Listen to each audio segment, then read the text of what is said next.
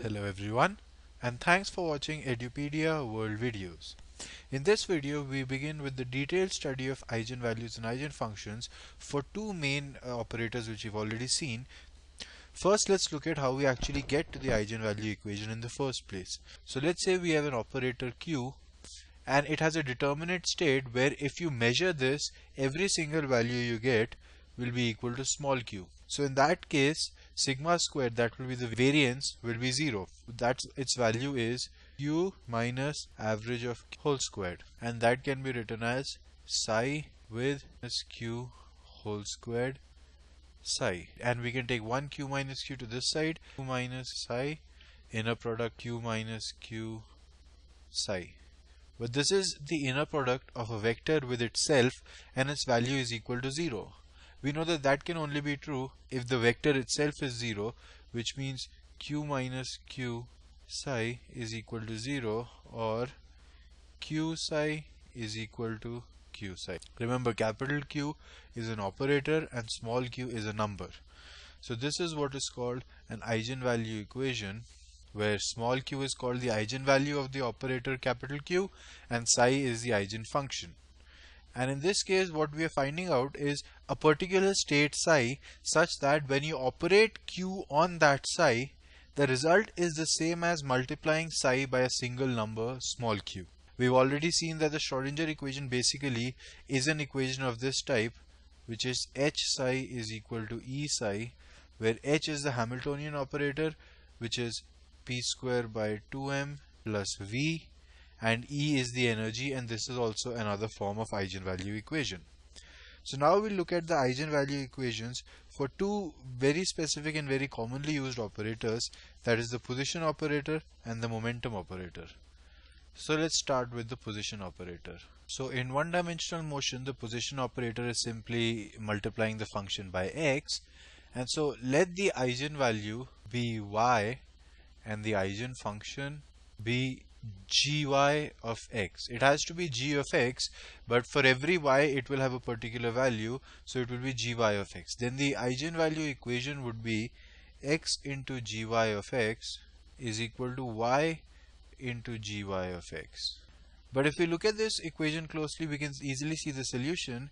It has to be 0 everywhere except where x is equal to y because otherwise this equation won't be able to be satisfied right. So the function has to be 0 everywhere except where x is equal to y and that function is called the Dirac delta function. Gy of x is equal to a delta times x minus y. This is a function which is 0 everywhere that x is not equal to y and at the point where x is equal to y it is non-zero it has the value a.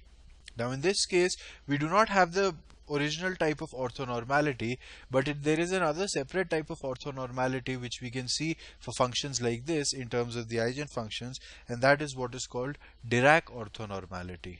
It is basically an analog of orthonormality when it comes to infinite dimensional functions.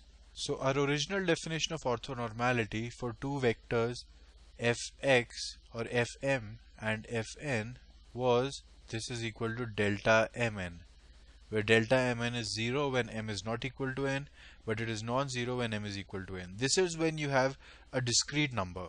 When you have a continuous number of indices which is true for a function you have Dirac orthonormality which basically states that integral minus infinity to infinity if we try to calculate this gy dash star x into gy of x this is the inner product of gy dash with gy dx. This will come out to be mod a squared integral minus infinity to infinity. We are putting the value from here into this equation.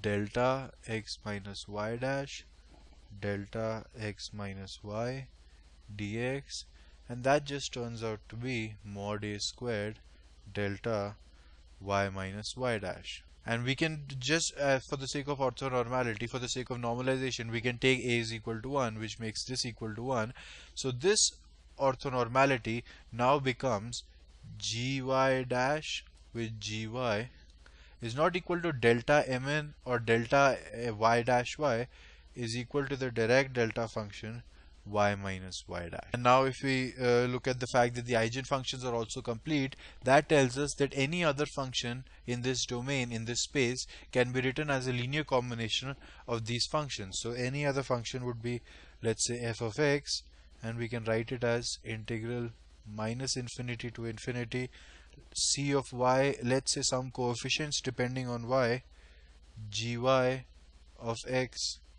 dx meaning for every uh, function f of x we can choose appropriate gy such that this is true.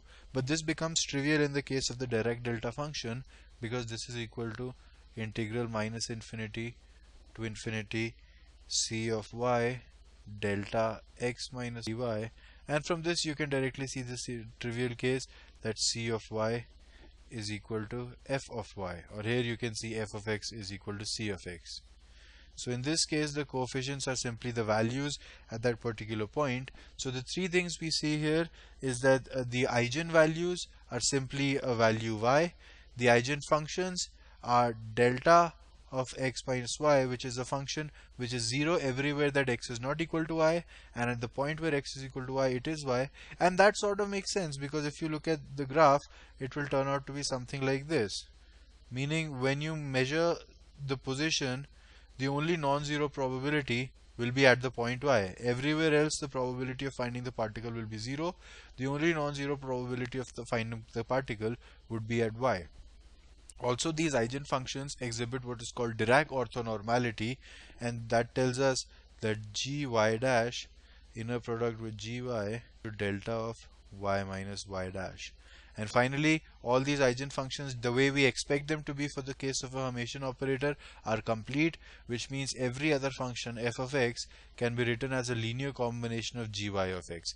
And once again, because you have infinite terms, the sum here has been replaced by integral. If this was a sum, we would have had delta y y dash the Kronecker delta, but because this is an integral, we have the Dirac delta function.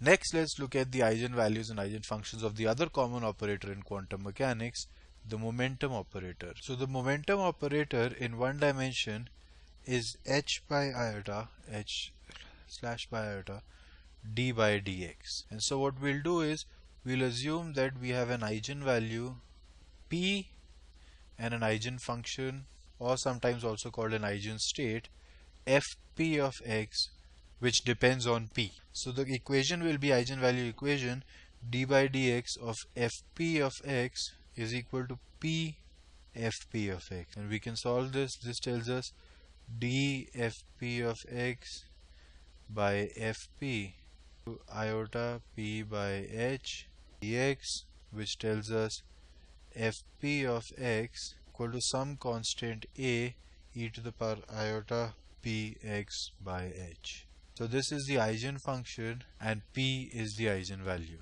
Now the thing we notice here again like the previous case for position operator is that this is not square integrable and so what this looks like basically is an infinite wave of a particular value of wave number going in this direction but you cannot integrate this from minus infinity to infinity. However, this type of eigenfunction also admits the kind of Dirac orthonormality as opposed to the normal orthonormality which we talked about in the position vector. So let's look at the inner product of two functions. It would be minus infinity to infinity f p dash star of x into f p of x dx and this will be equal to mod a squared again a we can choose whatever we want to get the normalization constant integral minus infinity to infinity e to the power iota p minus p dash x by h dx. But we know what this is. This is a very famous integral. You've seen this in a mathematics class. This is equal to mod a squared pi h delta p minus p dash. We know that when we integrate something like this from minus infinity to infinity, it gives us the Dirac delta function. And so if we assume a normalization constant such that mod a square is equal to 1 by 2 pi h dash or a is equal to 1 by of 2 pi h dash in that case we can find out the eigenfunction which will obey the uh, the value the relation fp dash fp is equal to delta p minus p dash which is again similar to the Dirac orthonormality we saw for the position vector. So in this case the eigenvalue is p and the eigenfunction is fp of x is equal to 1 by root of 2 pi h e to the power iota px by h. Now the final thing left to see here, just like because this is a Hermitian operator, just like the position operator, the set of eigenfunctions will be complete, which means that any other function f of x can be written as a linear combination of these functions. So if you have any function f of x, it can be written as integral minus infinity to infinity. Again, the sum is replaced by the integral c of p, which is the coefficient depending on p, fp of x dp. So fp of x I can write it as uh, I'll bring 1 by root 2 pi h here and then what is left is e to the power iota px by h dp. But this is an equation for Fourier series. And we already know what the inverse equation for this is if you want to calculate the value of c of p. And that comes out to be 1 by root 2 pi h integral of minus infinity to infinity. F of x power minus iota px by h dx. And so both these problems, the eigenvalue problem for the position operator and eigenvalue problem for the momentum operator give us pretty much the same results which is because they're both Hermitian operators, all the eigenvalues are real and the eigenvectors obey what is called the Dirac orthonormality and the eigenvectors, eigenfunctions are complete which means that every function or every state. Now what does this mean?